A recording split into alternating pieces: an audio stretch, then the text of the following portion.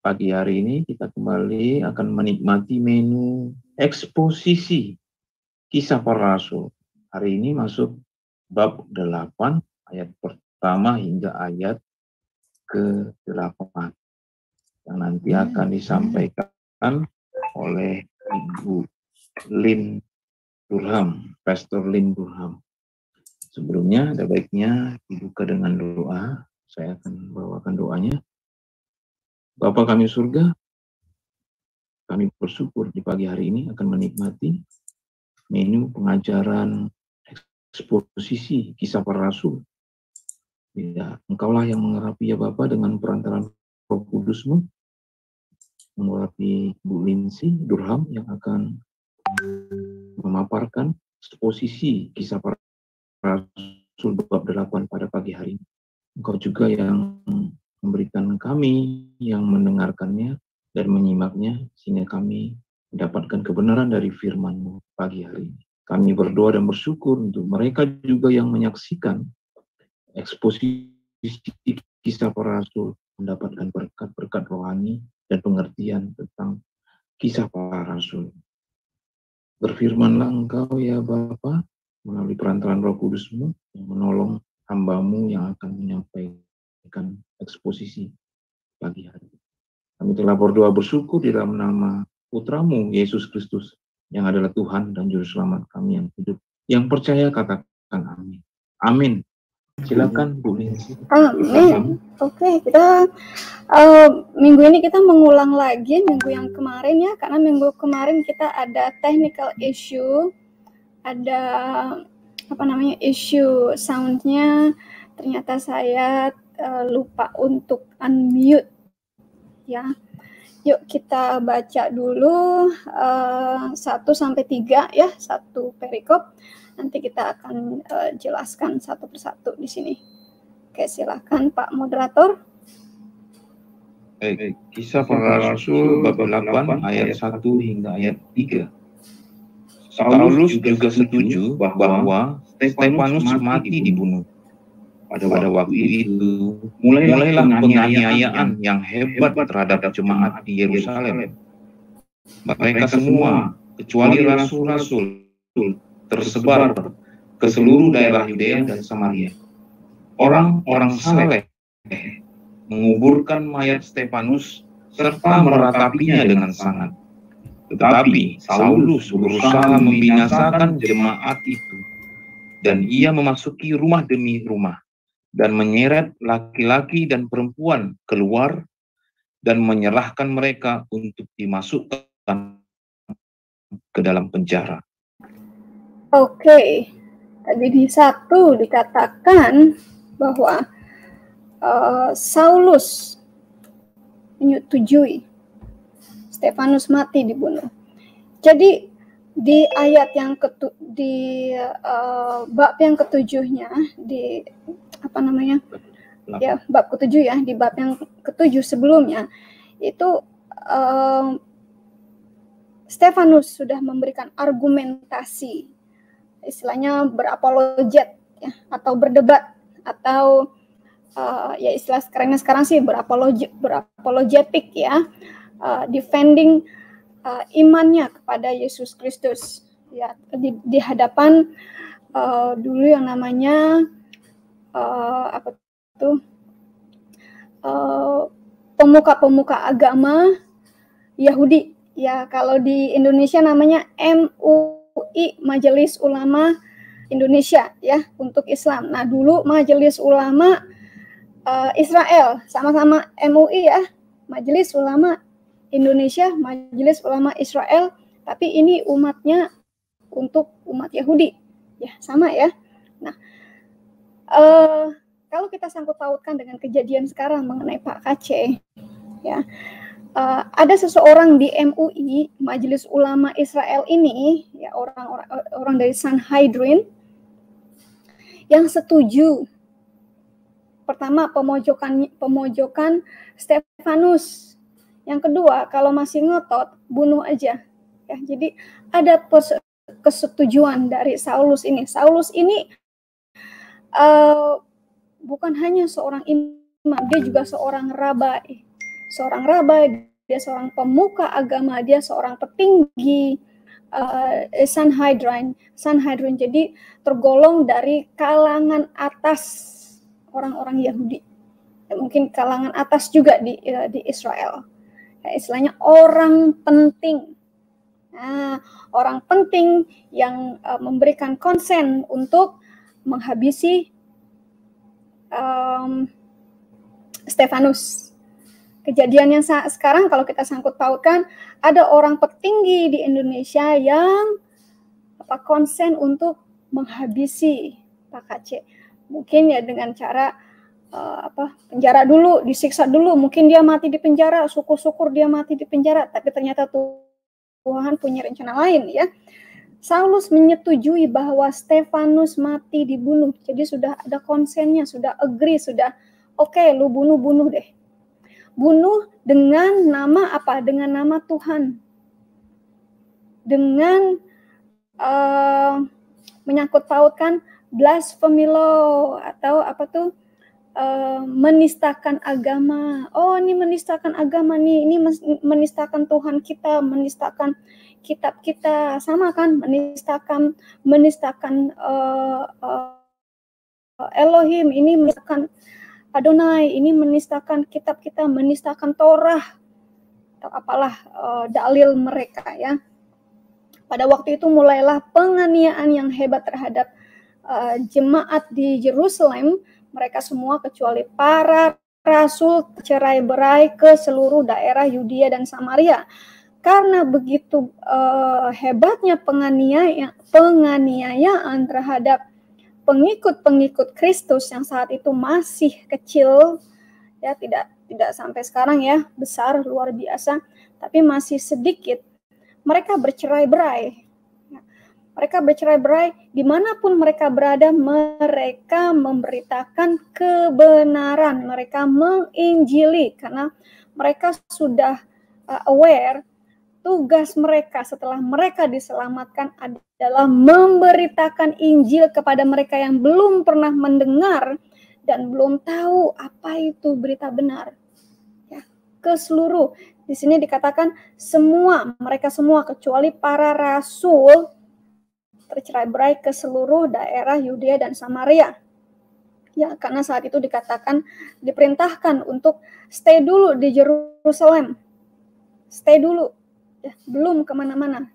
Ya, uh, mereka melaku, mereka pergi sesuai dengan kehendak Roh Kudus.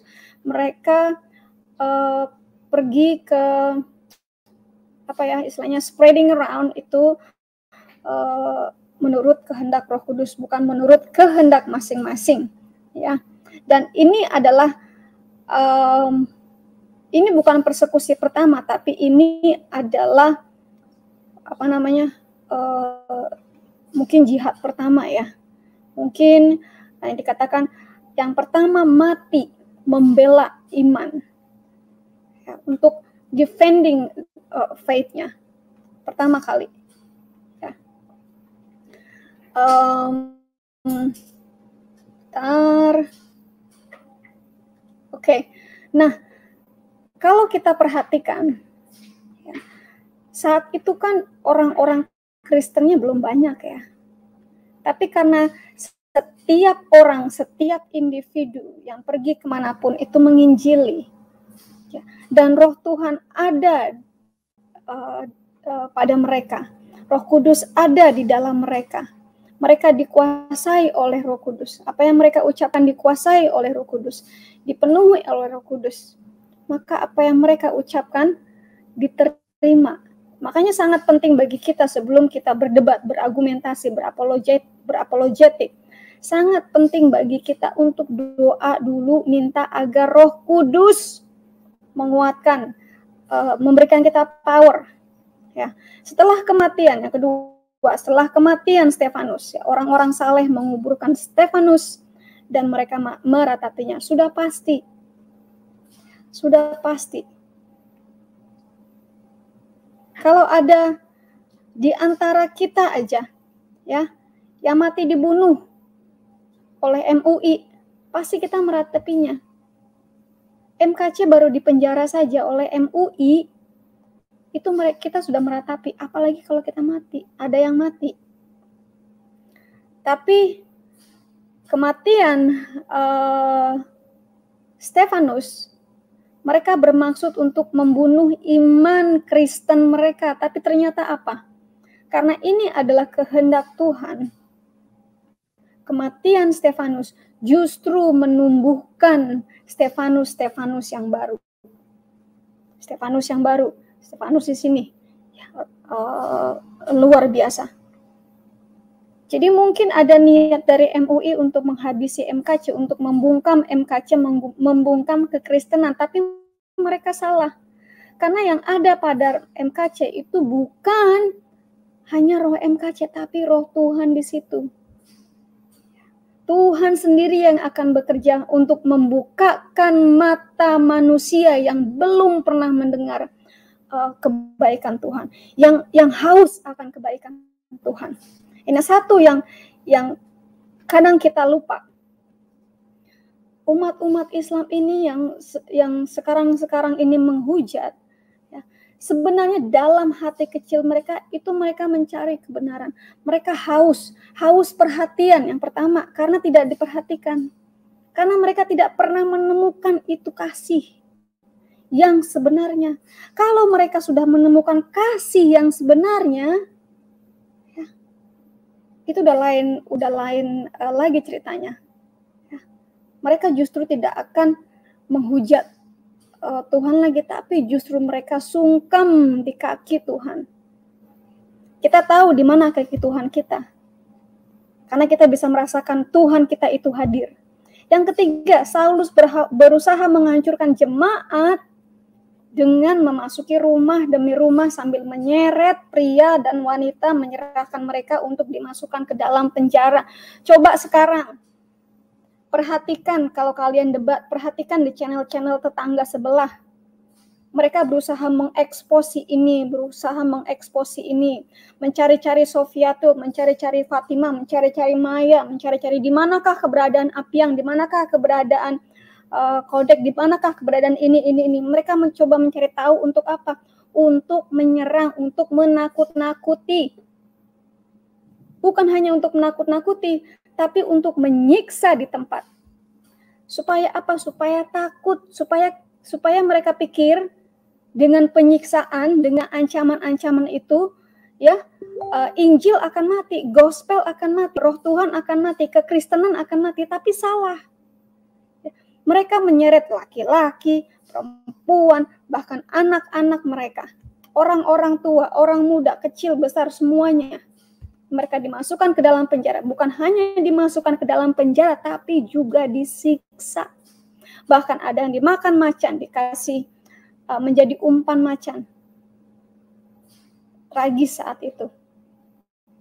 Ya. Tragis sekali.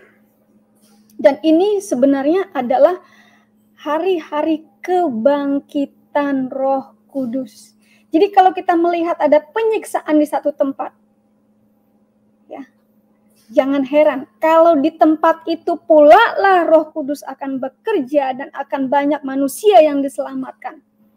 Kalau sekarang mereka memindahkan kasus Pak Kace ke Ciamis dan mereka berharap agar orang-orang Ciamis itu uh, menghujat Tuhan kita Yesus Kristus, tapi jangan kaget kalau di Ciamis lah nanti akan terjadi pusat penginjilan di sana. Haleluya. Yang berikutnya, kode keempat sampai ke delapan. Kisah para Rasul bab 8 ayat 4 sampai 8. Mereka yang tersebar itu menjelajah seluruh negeri itu sambil memberitakan Injil. Dan Filipus pergi ke suatu kota di Samaria dan memberitakan Mesias kepada orang-orang di situ ketika orang banyak itu mendengar pemberitaan Filipus dan melihat tanda-tanda yang diadakannya, mereka semua dengan bulat hati menerima apa yang diberitakannya itu. Sebab dari banyak orang yang kerasukan roh jahat, keluarlah roh-roh itu sambil berseru dengan suara keras dan banyak juga orang lumpuh dan orang timpang yang disembuhkan. Maka sangatlah besar sukacita dalam kota itu. Amin. Ya. Lalu mereka yang tercerai berai itu, ya, karena mereka menghindari persekusi. Ya, kita bukannya takut dengan persekusi. Kalau itu memang kehendak Tuhan, kita akan mengalami persekusi. Tapi kita juga tidak mati konyol. Kalau ada kesempatan untuk pergi, untuk melarikan diri, kita akan lakukan agar apa? Agar uh, gospel, agar Injil diberitakan, agar berita baik keselamatan dari Yesus Kristus itu diberitakan. Karena kalau kita mati, siapa yang akan menginjili? Ya. Tuhan memberikan kita tugas menginjili. Menginjili bukan berarti harus menjadi pendeta. Menginjili bukan berarti harus ada di pulpit. Menginjili bisa dengan perbuatan kita, pemberian kita, kelakuan kita, ucapan kita, semuanya. Injili.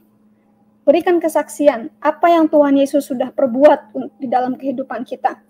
Ya, mereka bercerai-berai menyebar ke seluruh negeri. Di mana mereka menyebar ke seluruh negeri itu mereka apa menanam uh, biji iman. Ya. Dan Tuhan katakan uh, my word shall not return to me void. Jadi firman Tuhan yang disampaikan oleh mereka yang tercerai-berai ini tidak akan kembali dengan sia-sia itu kata Tuhan. Dan terjadi memang sekarang Christianity itu sudah besar. Tapi jangan jangan kita berbangga karena Christianity itu besar. Kita tidak mencari kuantiti, tapi kita mencari kualitas. Kualitas dari iman kekristenan itu sendiri. Yang kelimanya, Filipus pun turun ke kota Samaria. Ya, memberitakan Mesias kepada orang-orang di situ. Disebarkan di mana pun kita berada disebarkan. Filipus ini statusnya sama dengan uh, Stefanus yaitu se seorang bishop yang dipilih pada awalnya oleh uh, rasul-rasul uh, di saat di Aprum ya uh, pertemuan atau atau uh, konsili ya kalau kalau orang uh, ECT bilangnya konsili ya Filipus turun ke kota Samaria dan memberitakan Kristus kepada mereka. Di mana pun kita berada adalah menjadi tugas kita untuk memberitakan Kristus, proklaim, ya, bukan hanya proklaim, tapi uh, apa ya, mendeklarasikan. Yang keenamnya, ketika orang banyak itu mendengar pemberitaan Filipus dan melihat tanda-tanda yang diadakannya, mereka semua dengan bulat hati menerima apa yang diberitakan. Karena ke mana pun mereka berada, karena mereka dipenuhi dengan roh kudus, maka mukjizat itu akan terjadi. Kesembuhan akan terjadi di mana ada uh, roh Tuhan, di mana ada operasi roh Tuhan, roh kudus, di mana Yesus berada, pasti akan ada mukjizat. Pasti roh Tuhan itu akan mengagum, mengagumkan. Karena Filipus dikuasai oleh Roh Kudus, dipenuhi oleh Roh Kudus, maka ketika Filipus mengabarkan Injil dan memperlihatkan mukjizat dalam nama Yesus, memperlihatkan uh, keajaiban yang mereka tidak pernah lihat, mereka tidak pernah rasakan. Apa yang dilakukan Filipus sama dengan apa yang dilakukan oleh Yesus sebelum Yesus disalib membangkitkan orang mati, menyembuhkan orang yang sakit, membukakan orang yang eh, matanya yang buta, membukakan mata uh, telinga yang budek, uh, mulut yang bisu, kaki yang pincang, semuanya disembuhkan segala sakit penyakit, segala yang kesurupan, segala yang kemasukan setan. Ya. Semuanya. Dan ini juga harusnya dilakukan oleh kita karena kita diutus oleh Tuhan, diutus oleh Yesus. Kita sudah diberikan Roh Kudus. Sekarang pertanyaannya, ya, apakah kita mau melakukannya atau tidak? Apakah kita percaya kita bisa melakukannya atau tidak? Karena banyak Kristen yang tidak percaya kalau dia tidak bisa, kalau dia bisa melakukannya. Iman mereka belum iman 100% sebesar biji sawi, mungkin masih setengah biji sawi. Nah, kalau kita menanam biji itu harusnya seluruh biji kan, bukan separuh biji. Kita potong dulu, terus kita taruh di tanah, nggak bakal numbuh. Tapi yang kita tanam harusnya adalah seluruh biji, seutuh biji. Sama dengan iman kita. Iman kita harus bulat, harus percaya penuh. Baru akan terjadi mukjizat, baru akan terjadi kesembuhan. Yang ketujuhnya dikatakan, roh-roh jahat berteriak dengan suara nyaring keluar dari orang-orang yang kerasukan. Ya, juga banyak orang lumpuh dan timpang disembuhkan. Tadi saya sudah mention sebelumnya. Di mana pun kita berada, berada, kita harus bisa melakukan hal ini. Harus bisa. Pengalaman saya, kalau ada orang-orang yang datang ke rumah saya, banyak orang yang datang ke rumah saya, karena mereka punya masalah dengan kesehatan mereka. Ada yang kakinya pincang, ada yang kakinya panjang sebelah, ada yang tangannya panjang sebelah, ada yang migrain tidak sembuh-sembuh, ada yang katarak, ada yang glukoma, ada yang kena patah tulang karena kecelakaan, ada yang seharusnya dioperasi tidak jadi operasi. Bukannya saya membanggakan diri, tapi ini adalah contoh yang harus kita kerjakan di mana pun kita berada. Tapi tidak semua sakit penyakit bisa dilakukan disembuhkan dengan doa. Karena banyak sekali sakit penyakit yang kita sendiri penyebabnya. Nah, itu lain topik, lain hari, ya, lain waktu kita akan bahas ke situ. Oke, uh, Senin ini saya akan membal Senin malam ini saya akan membawakan topik uh, akar dari segala permasalahan. Nah, mungkin dari sini kita bisa. Ya, yang kedelapan, maka sukacita besar terjadi di kota itu. Amin. Di mana pun kita berada.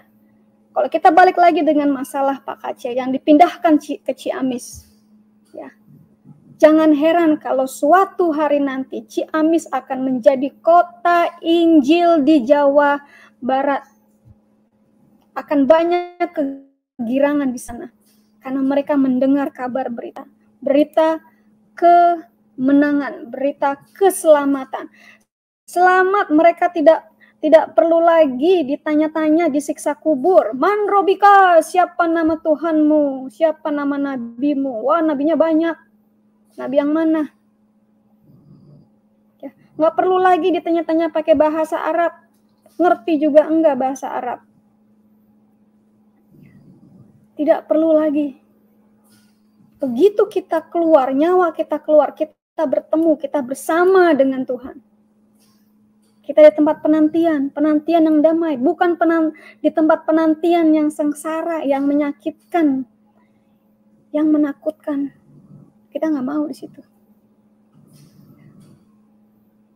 Maka bersukacitalah kita di mana pun kita berada, agar lingkungan kita turut bersukacita kalau kita di mana pun berada ngedumel terus, mulutnya kotor, kelakuannya nggak benar, utang di mana-mana,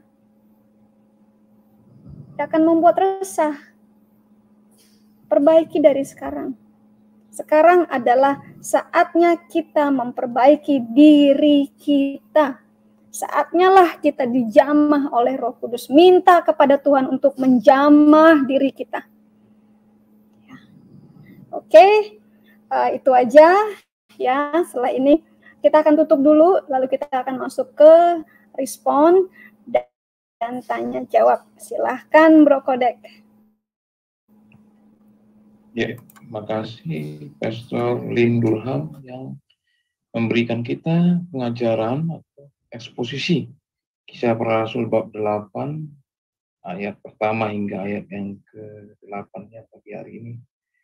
Baik, uh, ada di antara Bapak Ibu yang mau doa untuk merespon posisi yang disampaikan oleh Pastor Lindurham, boleh kami minta kesediaan Ibu Maya mungkin mau, mau berdoa.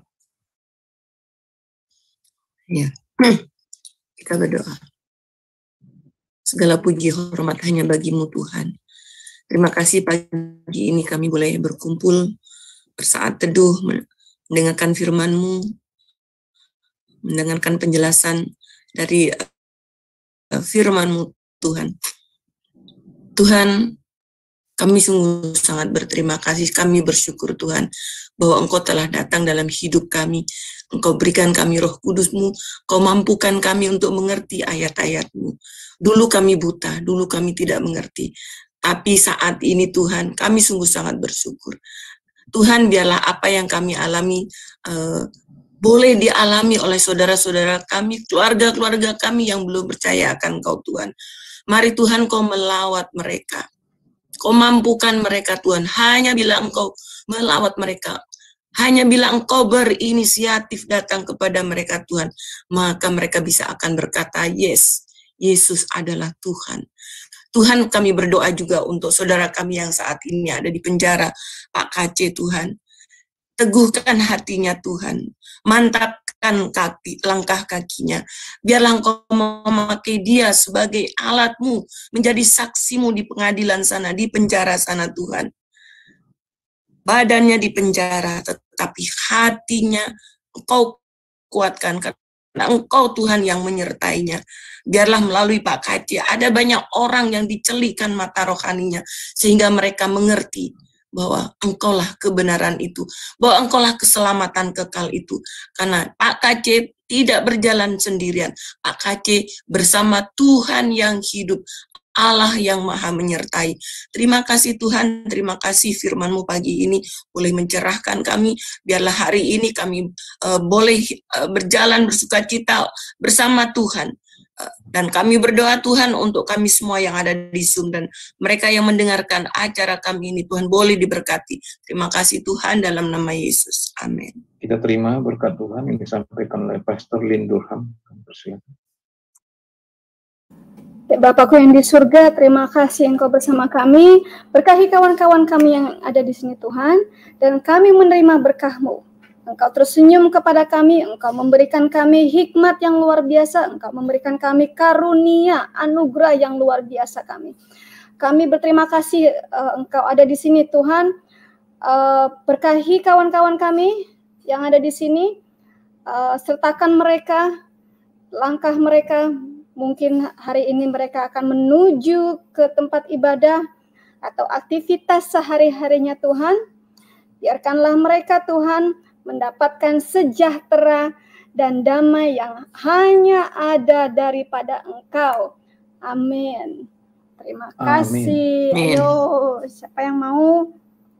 Ini Li ya? Tapi firman yang tadi.